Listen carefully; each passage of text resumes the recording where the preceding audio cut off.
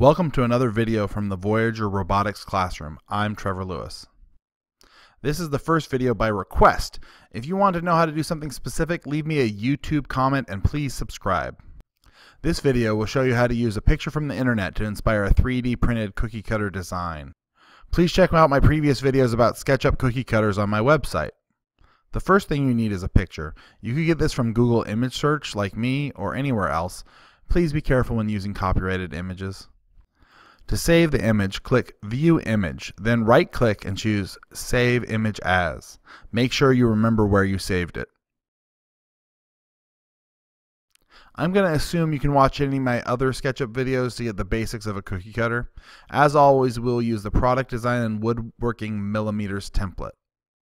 As usual, we're going to start with a reasonably sized rectangle and use Zoom Extends to set up our initial view.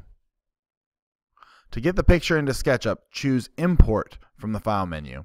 If your image isn't showing up, choose All Supported Image Types from the File Type menu. Before you click Open, make sure you're importing as an image. Don't choose New Matched Photo. Even though it sounds right, that option is really more for 3D perspective, architectural type photos. After you click Open, click once to place the image, and once more to set its size. We can get rid of our reference rectangle now. Next, you want to turn your image into a group so you can have some more options. Right click to explode the image, triple click to select all, then right click to make it a group. Now that it is a group, we're going to want to lock the group so we can't accidentally move it or anything like that. We're also going to choose X-ray mode by choosing the menu View, Face Style, X-ray. When we're ready to toggle this off, we can just select it again. X-ray mode is usually to allow you to see interior or hidden geometry, but today we're going to use it to fade the image a bit to make the lines we draw on top of the image stand out more. Now we're ready to start copying the design. If you want flowing curves, I recommend using the arc tool. You can control the number of segments in your arc by pressing the number, S, enter, while drawing an arc. Use the cyan line tangent at vertex to make sure the previous curve lines up with the next. Double click the endpoint to lock in that curvature, or move slowly back and forth until you find it. You can also ignore the tangent at vertex reference if you want to make a corner.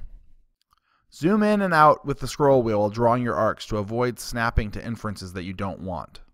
Zoom in to choose your ideal location and zoom out to see the overall picture. Remember, you don't have to exactly match the image. What's more important is your artistic representation of what's there. Once you have the outline, you can follow the instructions in my cookie cutter with symmetry video. Pay attention to the tips for how to handle more complicated designs.